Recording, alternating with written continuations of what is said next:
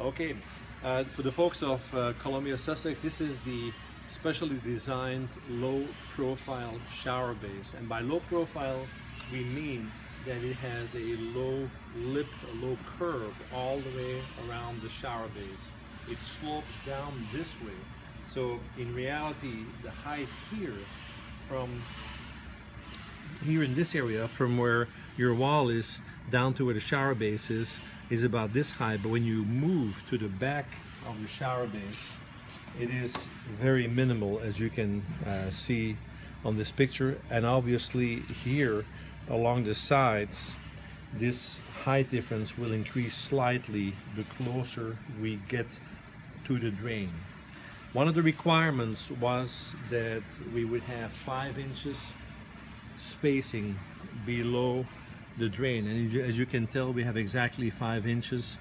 Uh, we're going to make the shower base a little bit thicker and we have adjusted for that by putting a spacer at the bottom of the tape um, to adjust for the height difference or the thickness difference.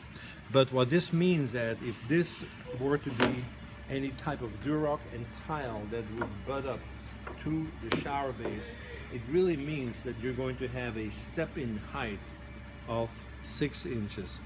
And the reason we want to bring this to your attention is to make sure that everyone agrees and by having me standing next to it, everyone realizes that this is a six inch step-in base. Looking at it this way probably gives you a little bit of a different perspective than seeing it uh, on a drawing. So the shower base will come to you about this height six and three quarter inch tall.